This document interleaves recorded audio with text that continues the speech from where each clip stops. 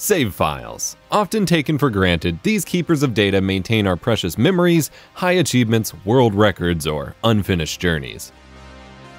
Slots, blocks, bytes, each representing a journey and experience frozen in time, each of them waiting for us to log back in, to allow the universe contained within to exist once more, or to be shown off to the world.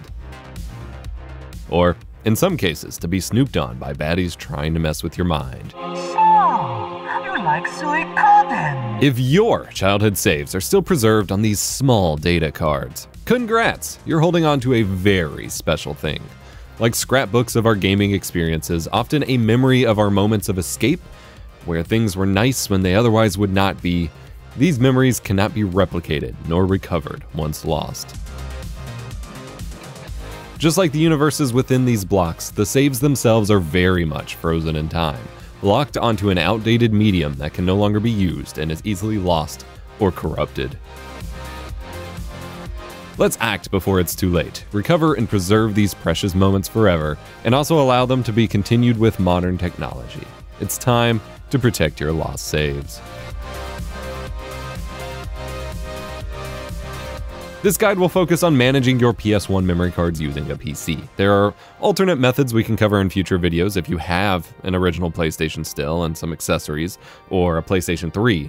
But for this, I wanted to explore my dream scenario as a kid, having a PlayStation memory card slot on my PC.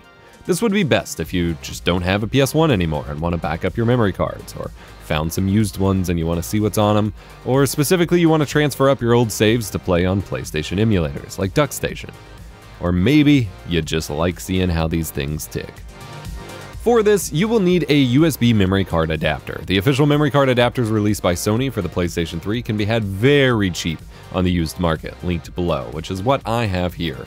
But there's also a handful of third-party adapters for the PS3 that will work here too, or you could go even more old school and get the old InterAct DexDrive for PS1 memory cards for a reasonable cost too.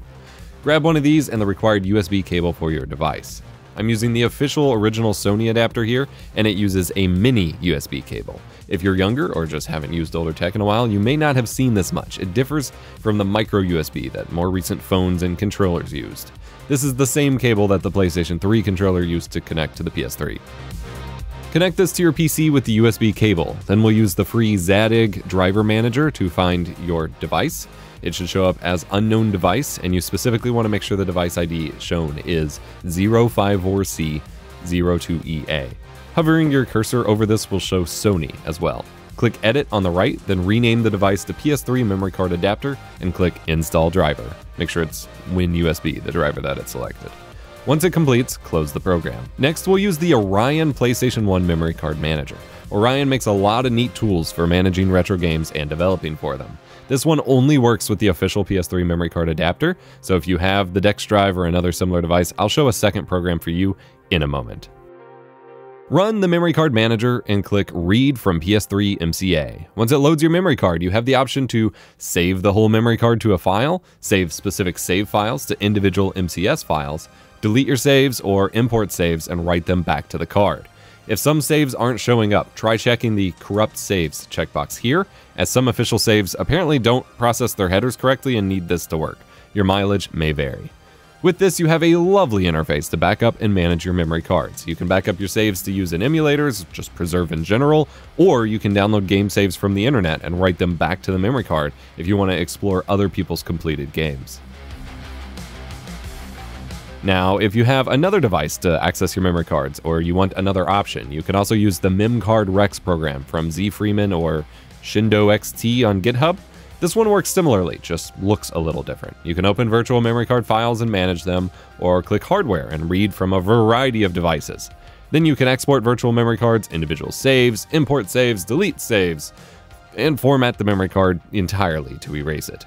Just remember, any changes you make in this window require you to click hardware, write changes to hardware for your device to actually write it back to the card.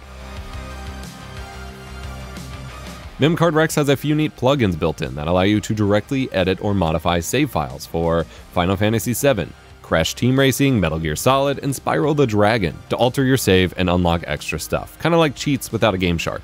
Just be sure to back up your save before tinkering with these. From here, you can either directly select these MCR files, no, not that MCR, in DuckStation as your virtual memory cards to use, or you can use the built-in editor in DuckStation to find your archive MCR files and import individual saves from them into your DuckStation cards. Easy peasy. If you did this, you took a very big step in keeping your gaming history intact. With modern gaming wanting to completely take control and ownership away from us, every ounce of control we can take back to own our experiences is crucial. It's crazy to think at one point in time, PlayStation aimed to provide full lifetime backwards compatibility and released accessories to let us move our save files over too. Whew, things have changed so much. To keep digging and preserving your PS1 games, click this video on how to rip and dump your PS1 game discs. Remember to be kind, rewind.